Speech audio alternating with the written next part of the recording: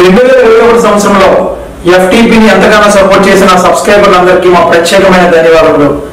FTP news తరపున నూతన సంవత్సరం మరియు సంక్రాంతి శుభాకాంక్షలు. ఇలాగే రెండు వేల ఇరవై రెండు సంవత్సరాలు కూడా సబ్స్క్రైబర్లు ఇలాగే మమ్మల్ని ప్రోత్సహిస్తారని మరీ మరీ కోరుకుంటున్నాము. Welcome to FTP news FTP news ప్రేక్షకులకు నూతన సంవత్సరం మరియు సంక్రాంతి శుభాకాంక్షలు.